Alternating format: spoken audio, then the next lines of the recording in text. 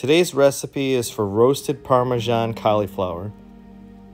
And you only need a few ingredients for this. First, you're going to take your cauliflower and then zest a lemon into it, followed by squeezing the juices of another lemon.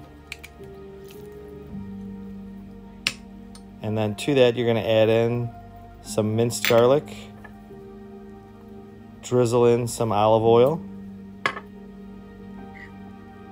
and the seasonings, which will be listed in the comments below,